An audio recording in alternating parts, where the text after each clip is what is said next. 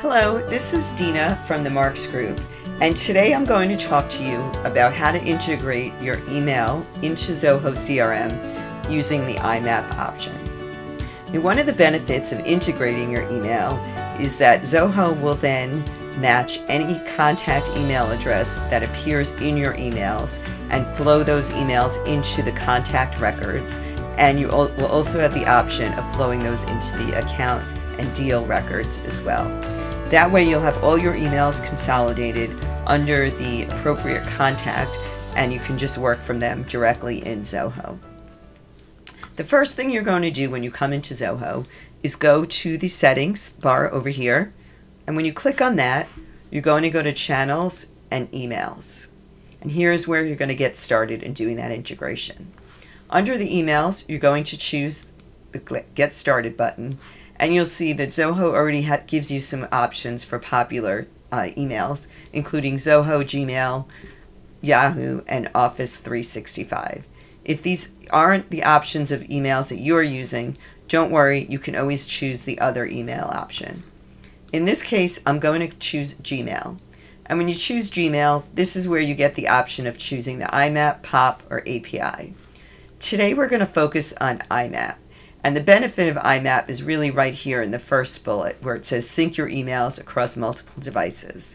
And what this means is that if you were to open your phone and look at an email and decide you don't need it and delete it, that email won't be appearing in the contact record here in Zoho.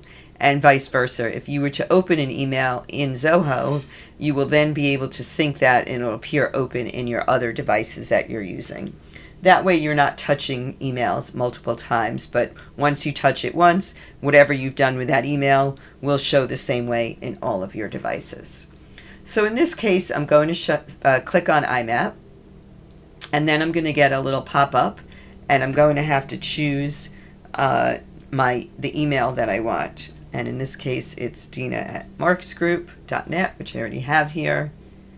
And then I'm going to click Next, and then I'm going to click my password, click next, and in this case, Zoho's asking me, uh, Gmail's asking me to confirm, which I'm doing right now. And once I do that, it's processed, and I would approve Zoho to access my information. Once I do that, uh, because I'm using Gmail, you don't really see a lot of other information.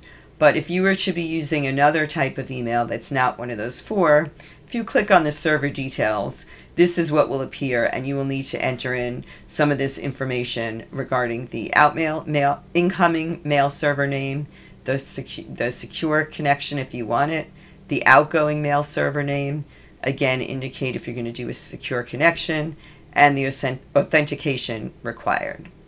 But once and once you do that, then the next thing you're going to do is decide on the email sharing permissions. The email sharing permissions is important because it helps you decide how public you want your emails to be. If you're uh, if you only want your you to see the emails related to your customers, you would choose the private. If you want, wanted everyone to see the emails because maybe you share your contact records, then you would choose the public. And if you want to decide on an on a regular basis whether you're sharing those emails or not, you can choose the custom record level record level sharing. In this case, I'm going to choose the public, and Zoho is going to give me a warning, just making sure that I'm aware that um, you're going to uh, be sharing with all users your organization account. So I'm going to click accept.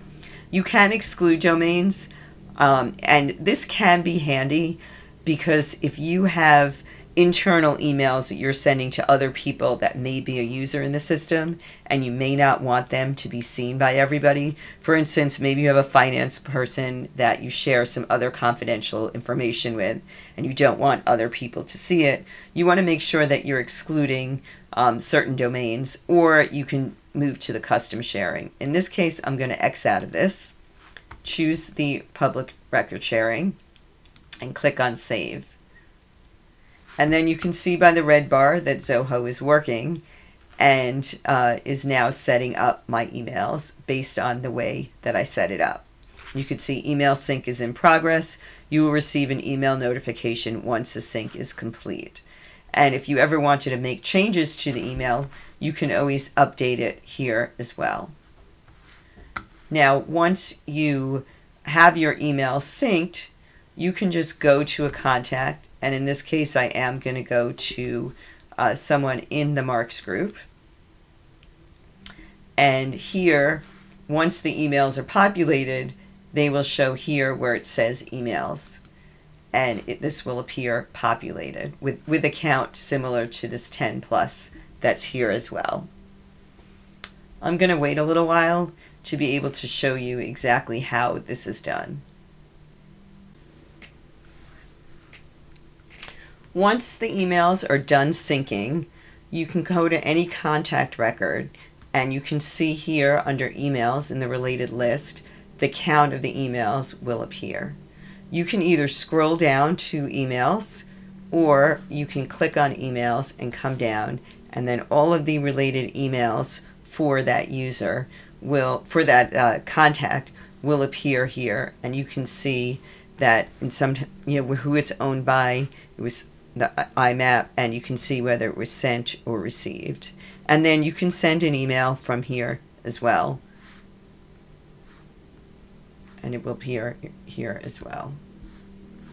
So as you can see, you can integrate your email and then within each contact record, you'll conveniently have the email showing here uh, for you to access those emails immediately and not have to worry about funneling through emails and cross-referencing different screens. If you have any additional questions related to integrating your email using IMAP or any other questions about using Zoho CRM, feel free to email us at the Marks Group at info at marksgroup.net and we'll be glad to work with you on any of your Zoho needs.